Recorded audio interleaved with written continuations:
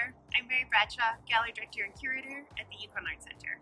And I'm Garnet Muething, Art Curator for the Department of Tourism and Culture with Government of Yukon. So Yukon Arts Centre and Government of Yukon worked together this past year on Reorg West.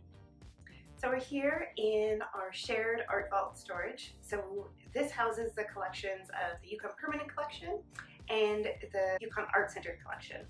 Our 2D storage was really hitting capacity. So as you can imagine between these two art collections, we have a great deal of 2D artwork which lives on our racks. And they were really at the point of full capacity.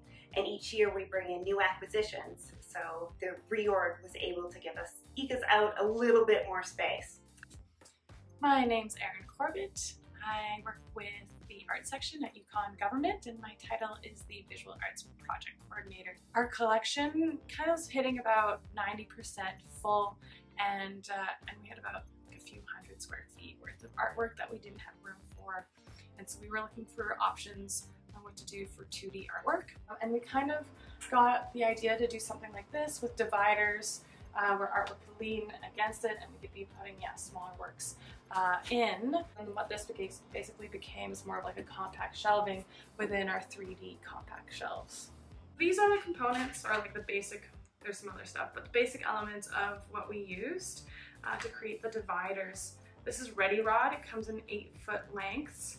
Um, it's threaded all the way along and what we used was a quarter inch. It's a little bit thinner and had some flexibility so that we could like feed it underneath the, um, the shelf, the bottom shelf. Uh, these are, this is the shelf. We, uh, we figured out how many we needed. We created a template and measured out where the holes needed to go, for one for each rod. Um, and then we used the template and put it on top and would drill through the other shelves so that they were all the same. And then we have plastic tubing. And what this did was we would thread it over the ready rod so that it protected frames from getting scratched from the threads. So it was pretty easy in some ways. Um, what we did was started with putting a bolt on the very bottom of the ready rod and then threading it through the bottom all the way up, all eight feet, and then putting the tubing on. And then we would lower the shelves down and then keep going until we got to the top. Once we got to the top, we secured the ready rod with another bolt. So what we did, once we had the dividers installed into the shelves, uh, we wanted to line the bottoms with carpet so that the frames again are sliding against something that's soft but also inert. Um, and so the carpet, we pre-cut it um, so that there's slits where the dividers are but then connect it at the back so that when we're pulling the artwork in and out, it doesn't slide out with it.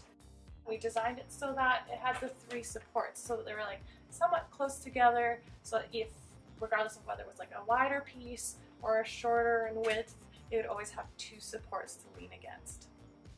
So the challenges that we kind of faced, um, we thought carpet was a great idea considering we saw it elsewhere, but it sheds, it collects dust, and it frays. So an alternative would be using coroplast on the bottoms instead of using carpet. The uh, other trouble that we ran into uh, was that when we got to the top after all the shells were in, the, uh, the ready rod stuck out about six inches and so putting the nut on and trying to thread it all the way down would have taken way too long and it was just getting way too finicky. So what we did was cut it with the hacksaw but then the threads were gummed up a bit from the hacksaw, so we had to run out and buy a, a file to bring it back down to the manufactured uh, threads, and then we could get the.